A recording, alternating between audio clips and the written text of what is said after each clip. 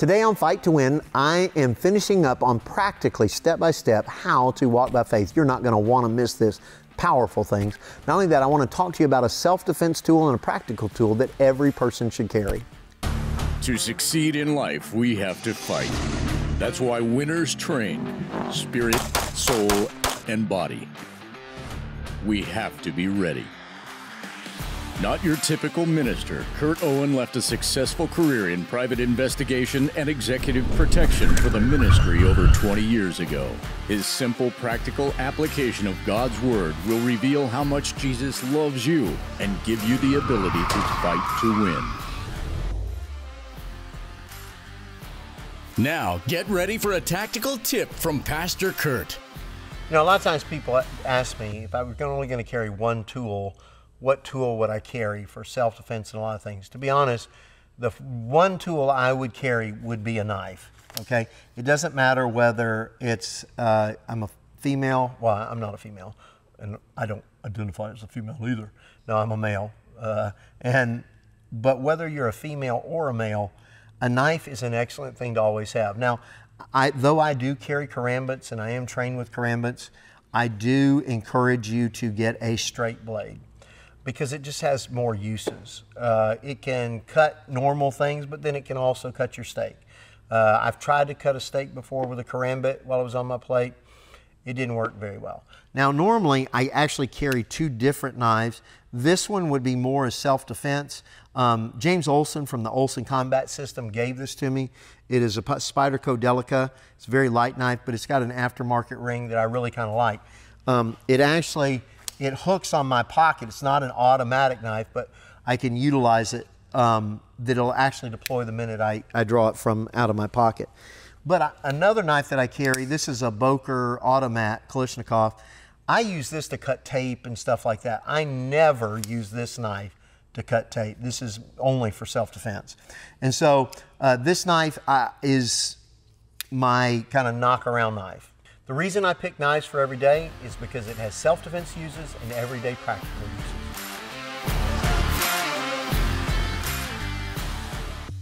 Hello, I'm Kurt Owen. Welcome back to Fight to Win. We are finally at the last day of how to walk by faith, and I have a lot to say. Uh, this is my fourth week teaching on the subject, much to my producer's chagrin. And so, um, you know, I think I told you they only wanted me to go like 10 at a time, and, you know, it just you can't do that when you're talking about faith. There's just too, and, and quite frankly, I, have covered. There's so much more I haven't covered. That's the reason that this series is 19 hours, and that's the reason my partners and I want to get this to you absolutely free. You go to kurtowen.com and you can re- request it right there. And we'll be glad to give it to you, or call the number at the bottom of your screen. Now, kind of like I said yesterday, um, I have so much to say today, I'm not going to be able to really truly review. So let me just kind of catch you up, okay? For the last three weeks um, and four days, right, we've been talking about how to walk by faith. And what we've done is, is through Hebrews chapter 6, verse 12, where it says, imitate those who through faith and patience inherit the promises. What we've done is we found out our father of our faith, what he did to walk by faith, and now we're going to imitate him and we're going to receive the same way he received. Okay? And that's what we're going for. And today I've got something that is extremely important because there's going to be a point at which you start believing God, and there's going to be a period of time elapse, and you are going to have a, a tendency to want to back off or or become weak in faith. And how do you handle that? What do you do while you're waiting for what you believed you received to show up in the here and now? What do you do? I'm going to answer that today. Now, again, um, let, let, me show this to you right quick, uh, just for the sake of time. Go with me to, uh, where did we end up in yesterday? Genesis chapter 15. And I just want to go through this because I was kind of buzzing through it basically, God and Abraham have a conversation, or Abram have a conversation in the first part of the chapter. And um, God tells him, Do not be afraid. I'm your shield, your exceedingly great reward, literally meaning uh, rapidly increasing financial supply. And Abram says, That's great, Lord, but I, what I really want is a kid. That's verse 2. Then he takes him outside, and this is important that you actually see it. Verse 5 Then he brought him outside, look now towards heaven, and count the stars if you are able to number them. He said to them, So shall your descendants be. And he believed the Lord, and it was accounted to him for righteousness, right? And he says, I'm the Lord who brought you out of Ur of the Chaldees to give you this land to inherit it. Now, in response, Abram, because he really doesn't, I mean, they're just, they're really just developing their relationship.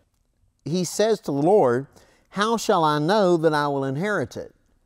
So he said to him, Bring me a, he- a three year old heifer, a three year old female goat, a three year old tur- uh, ram, a turtle dove, a young pigeon. Then he brought these, all of these to him, and he cut them in two down the middle, and placed each piece opposite the other, but he did not cut the birds in two. And when the vultures came down on the carcasses, Abraham drove them away. Now, when the sun was going down, a deep sleep fell upon Abram, and behold, horror and great darkness also fell upon him. Now, I need to, I want you to see a timeline, and I want you to see something here. Okay, God's talking to him, and it's nighttime, right? And He tells him what to do. He tells him to uh, cut these animals in two. So really, what he's doing is he's cut. He's making a blood covenant with him. So what the, God, he's going to do is he's going to cut the animal. Maybe someday I'll teach on blood covenant, but he's going to cut the animals down the middle. Okay, and there's going to be this pool, of, this trail of blood in between the two.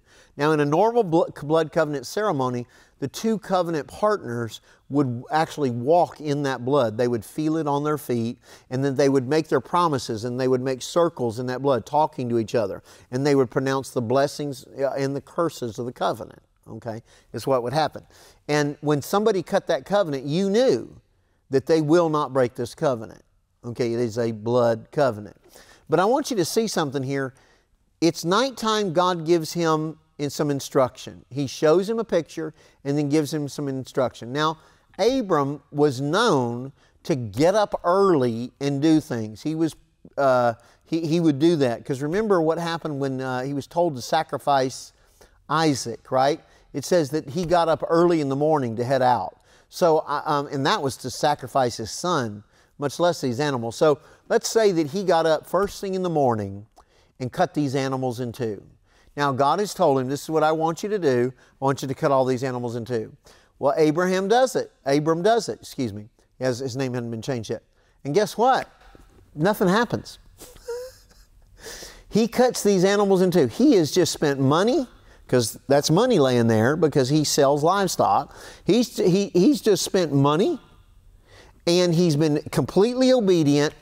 And now the money's been spent. He's gone to all this trouble, all this energy to do this, and guess what? Nothing happens. Not a thing. Not, not any music from heaven, nothing. This is, we're going to have days like this in our walk of faith where we're going to do absolutely everything God told us to do, and it's going to look like nothing's happening. Uh, let me hold your place there, but I want you to see this over in Ephesians. I really kind of wish I had another week. Ephesians, this says this it says, um, um, let's see, uh, did not wrestle, therefore take up. Um, this in verse 13 it says, Therefore take up the whole armor of God, that you may be able to withstand in the evil day, and having done all, to stand. Having done all, to stand. What does that mean? It means you just did everything you knew to do and it doesn't look like anything's changed and you're going to have to stand.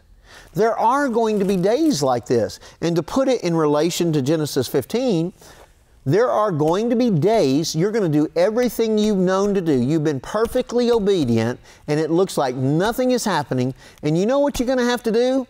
You're going to have to fight the buzzards off of your obedience, is what you're going to have to do. Because there's going to be plenty of opportunity during that day to say, listen, I can't believe I spent all this money. I must have missed God. It must not have been God. And I'm just quitting. I, I, this is what I'm, I'm not doing this. I thought it was God. Evidently it wasn't. If it was God, He would have shown up by now. You ever had that thought? If it was God, He would have shown up by now. You've got to fight the buzzards off your obedience. It would have been easier for him just to say, you know what? I've been out here nearly all day. I'm going to go get me a glass of lemonade and just sit down. If it uh, let the buzzards have those things, because after all, after all, um, if it was God, wouldn't something have happened by now? I, I, thought I did everything He told me to do. See, guys, it is not like watching a Hallmark movie where you do everything right and then wham, there it is. Everything works out. Sometimes you're going to have done all and then you're going to have to stand. You're going to have to fight the buzzards off of your obedience. You're going to have to make up your mind that I don't care how long it takes, I'm going to remain in obedience to God. I refuse to allow the buzzards. I'm not departing. I'm going to remain consistent. Remember where it says over there in uh, Hebrews 6 12, where it says um, that through faith and patience, your patience to be consistently constant, you're going to have to do that. You're going to have to be completely obedient to God, and then there's going to be a period of time sometimes where you're going to have to, you've done everything you know to do, you don't know anything else that you're supposed to do, and you're going to have to stand. And, and it's time to quit being a crybaby and suck it up, buttercup, and stand. Start fighting the buzzards. That's what you need to do. It's not going to act, it's not a presto magic button with God. There's going to be times you're going to have to stand. Well, why is that? I have no idea. I would like for Him to show up the minute I cut the animals in half. I'd love for that to happen, but it doesn't always work that way. But God is, He's going to do what He said He was going to do. He's going to do it because He cannot lie. Now, but here's the problem how do you remain strong enough to no matter how tired you are, you keep smacking buzzards? How can you, once you've done all, how can I continue to stand? Well, let's look at what Romans chapter 8 says. And again, I said a lot about walking with God uh, and a lot of other the other parts of it. I can't cover it right now please go to kurtowen.com and listen to the other services. But I want to get down to this part, okay? And normally I'd review the whole thing, but I, I, don't, I really truly don't have time. He says, "Is not being weak." Uh, no, excuse me. Verse twenty. He did not waver at the promise of God through unbelief. We covered that yesterday. You're going to have to make a choice to believe, but was strengthened in faith, giving glory to God the way you remain strong in faith and empower you to keep fighting the buzzards, and in the New Testament, the way to keep fighting the buzzards off of your obedience is by, by thanksgiving and worship and giving glory to God in line with the promise.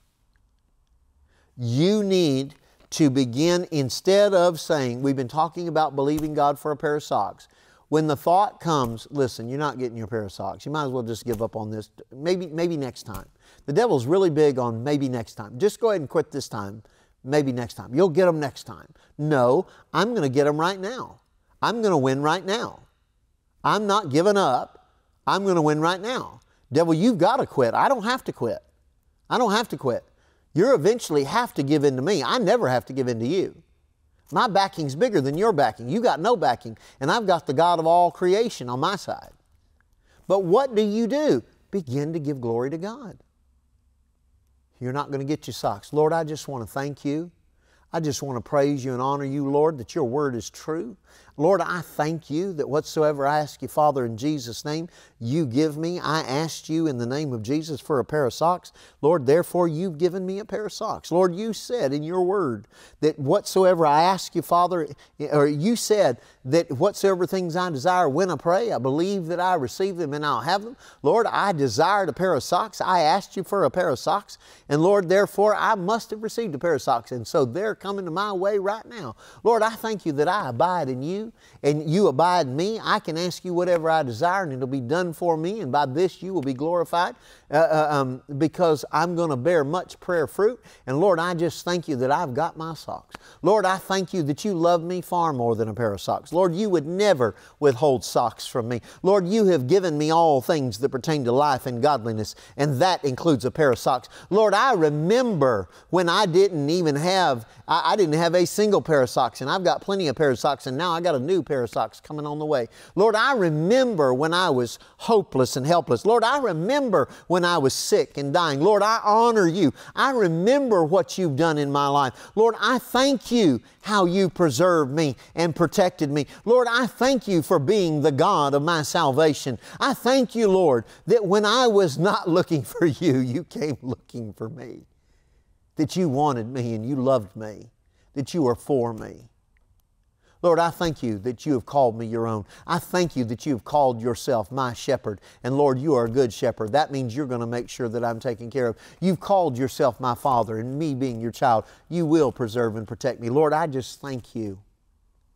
I thank you, Father. I honor you that you are so much bigger than a pair of socks. Lord, that getting me a pair of socks is nothing to you. Obviously, Lord, the socks. Lord, I just get quiet and I see myself putting these new pair of socks on my feet because, Lord, your word is true. Lord, you are faithful and you are true. And notice how strong you can get doing that. Now, there is another way. I don't have time to get it. I, I mentioned this in a newsletter. Um, remember, I, I, wrote nearly 20 months or, uh, of newsletters on how to walk by faith. You can get those by contacting the ministry. Uh, go to kurtowen.com or shoot us an email, connect at kurtowen.com, and just put in the, the subject line faith letters and we'll send them to you absolutely free. And there's a lot of material in there. But you, you need to you need to stir yourself up in this with thanksgiving. Yeah, oh, excuse me, I, I apologize. Yeah, the Lord just reminded me. I told you that there was another way. There is another way to stir yourself up on faith, and that is by praying in the Spirit. That the Bible says in Jude that, that you build yourselves up on your most holy, holy faith, praying in the Holy Spirit. Okay? Um, if you have been baptized in the Holy Spirit and you speak with other tongues or pray with other tongues, speaking in tongues and praying in tongues are actually two different operations, okay? Um, that's the reason some people get bent out of shape when I pray in the Spirit and they say, Well, you didn't give an interpretation. That's because I wasn't speaking in tongues. I was praying in tongues. And when I pray in tongues, I'm speaking not unto men, but unto God. I'm talking to my Father. When I speak in tongues and I give an utterance in tongues, then it must be interpreted because I, now I'm talking to the men sitting around or, or you watching on television. There's two different operations there, okay? But I'm talking about you praying in the Spirit that you build yourselves up on your most holy faith, that you're praying when you don't know how to pray for as you ought. Okay? So, and by the way, if you'd like to be uh, baptized in the Holy Spirit, I want you to call uh, our number. It's kind of hard to do over email, but um, if you'll call our number or get in one of our meetings, we'll be glad to minister to you so that you can receive the baptism of the Holy Spirit. Okay? Now, again, listen, I know some of you might be kind of surprised that I'm that I'm speaking tongues because I don't do a whole lot. I don't do a lot of it on the broadcast because um, I I'm trying. I want you edified, right? And there's there's a lot that talks about like if you speak in English, you, there's more edification. But I do. I pray in tongues a lot, and if that offends you, l- listen. I, I just want you to stop, and I just want you to think about this. Have you received from the word that I've taught? And have I tried to push you into getting baptized in the Spirit? I have not. What I ask of people where it comes to the baptism of the Holy Ghost is this. If you don't want the baptism of the Holy Spirit, I'm not going to persecute and demand you have it. You don't have to have the baptism of the Holy Spirit to go to heaven. On the other side of it, I don't expect you to persecute me because I believe in it. I'm never going to condemn you because you don't want to, to the baptism of the Holy Spirit. Why would you condemn me because I have it? Okay? And people say, well, I just believe it's of the devil. It's not. I know it because I know God and I know the Spirit that I pray in. But there, you can build yourself up. But one of the ways, if you don't want to do that, you can, by, by the way, it does say of praying in the Spirit that you give thanks well. That's part of the operation of praying in the Spirit.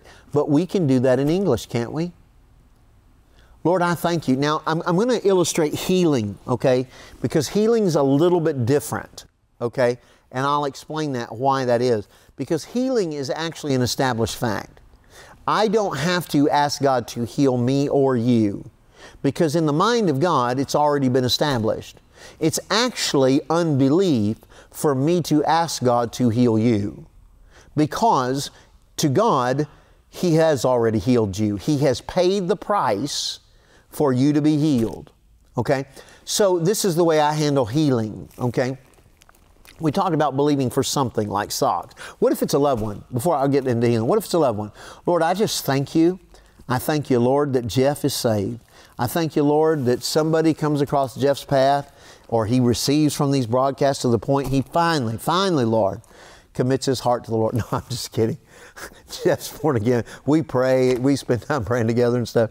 No, but if I was believing God for Je- Jeff's salvation after I prayed, I'd say, Lord, I just want to thank you that that labor is coming across Jeff's path that will speak the right words. Lord, I see Jeff saved. I see him worshiping God with me. Lord, I thank you. I say that Jeff is saved.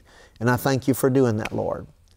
And, and, uh, I, in the name of Jesus, I take authority of everything that would seek to deceive Jeff and keep him from being saved, keep him from hearing the truth of the gospel. Now, I'll just add to that don't go around then and start complaining about him. Ah, that Jeff, he's, I mean, he's just so ungodly. He's just so ungodly. No, I'm still, I'm gonna, I'm going to, I believe that I received Jeff's salvation and I believe that God's gonna do it. By the way, just because you're praying for Jeff doesn't put him in a hammerlock and make him get saved. Because this is what happens to people, and this is one of the reasons they become offended at God. Well, I prayed for Jeff and nothing happened. It can be healing, it can, it can be anything, anytime it involves somebody else. I prayed for healing for them and they died, and they were my mama, and I love them. Um, just so you know, if God doesn't make you get saved and doesn't make you get healed, just by you praying doesn't going to change God's character and make Him make somebody else get saved or make somebody else get healed. What it does, when you pray for somebody else, it empowers God to continue to operate in and around them, to continue to seek to woo them. But God is not going to show up and make them receive healing or make them uh, get saved just because you prayed. That's the reason the scripture says that when we pray, it makes tremendous power available, dynamic in its working. That's the amplified version of James 5, right? Where it says, uh, the righteous, the, uh, the prayer of a righteous man availeth much. That word there means makes tremendous power available. When we pray for others, it makes power available, but it, God's not going to make them receive. He didn't make you receive. But uh, let's say it's for me. Lord, I just thank you. I thank you for, let's, let's do healing because I, I got to get to healing, right? This is what I would do. Father, I just want to thank you that uh, your word is true and that by the stripes of Jesus, Lord, you have healed me. Lord, I thank you that you yourself took my infirmities and bore my sicknesses. And Lord, I am so grateful that you have done that. I am so grateful and I worship you, Lord. Lord, I thank you that the law but that the law of the spirit of life in Christ Jesus has made me free from the law of sin and death. And whatever your sickness is is under the law of sin and death. Therefore I've been made free of that. Thank you, Lord. But then, now I've, I've exercised my thanksgiving, but next, where healing is concerned, you have to utilize authority. So I've just done, just, just to say, I've just did everything I just. Then I would say, body, you listen to me, I'm talking to you. Jesus paid a price for my healing. I demand right now you be free from cancer. I demand right now in the name of Jesus that you be free from pain and everything that causes it. Jesus Himself bore my sicknesses and carried my pains. I refuse to allow pain to continue in you. Pain, I command you to go now in Jesus' name because it's already done. It's an already settled fact. Now utilize your authority through the name of Jesus. But every time you prayed for something and it doesn't look like it's going to happen, then you lift your voice and begin to give thanks. Real quick, let's look at this over here in Colossians um, 2, in, or Colossians 2 Eh, Eh, or excuse me, Colossians 4 and verse 2, it says, Continue earnestly in prayer, being vigilant in it with thanksgiving. See, that's what a lot of people miss in their prayer life is they're not vigilant over what they've prayed with thanksgiving. Thanksgiving keeps the switch of faith turned on. It keeps that pressure being applied not to God, but to the creation and to whatever forces are at operation continue in it with thanksgiving, and this will strengthen your faith. So every time you start to feel weak and doubt starts to come, begin to worship, praise, and give thanks. Now, there's one more part to this, And today is offering day on the broadcast. So, partners, I want you to see what we're doing together. Okay? And it's this last part where it says, and being fully convinced that what he had promised, he was able also to perform. You have to become fully convinced, and the way to do that is to spend much time in the Word of God. And by this broadcast, my partners and I, those that give into this ministry, we are working on a daily basis to convince you of the promises. Now, the way you do it in your own life is the way I've been asking you to do your homework, right? Look at those three scriptures, those nine scriptures, three biggest problems, three scriptures per problem.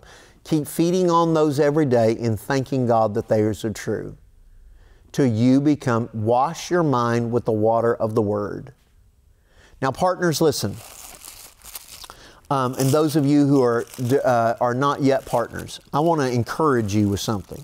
Here in Philippians, I think I used this last week, but I want to go back at it again this week. This is what it says.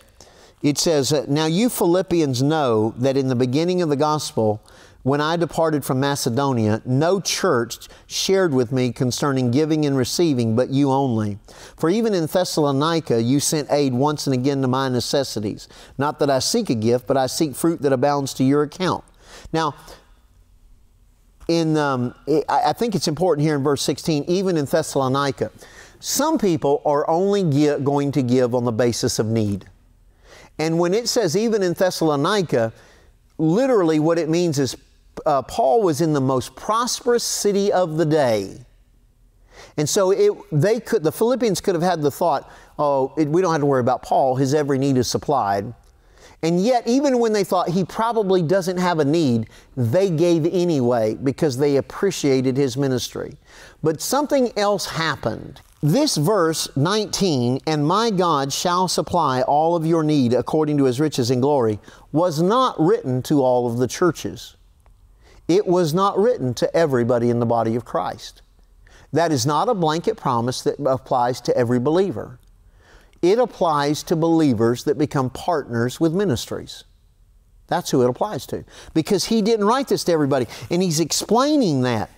He says, Now you Philippians know that in, in the beginning of the gospel, when I departed from Macedonia, no church shared with me concerning giving and receiving, but you only. Notice there, even churches become partners with ministries. We would welcome your church to partner with us. We believe in you. We want to partner with you. But if you would like to live a life where God supplies your every need according to His riches and glory by Christ Jesus, it requires you becoming a partner with a ministry. And I would like you to invite you to partner with this ministry. Let's change the world together so that you can have fruit now and when you get to heaven. Let me pray with you right now. Father, in the name of Jesus, I pray over my partners, both those that have already been partners and those that are becoming partners today. Lord, as they have made the decision to partner with me today, I thank you, Lord, today that their every need is supplied right now according to Christ Jesus. In Jesus' name, I command their needs to be supplied. Devil, you take your hands off their harvest and cause their finance. And Father, I thank you that you will cause their finances to come. Thank you for doing it. In Jesus' name, amen. I'm Kurt Owen. Thanks for becoming a partner. See you next week. Remember, Jesus is risen. Victory is assured. Catch Pastor Kurt next time on Fight to Win.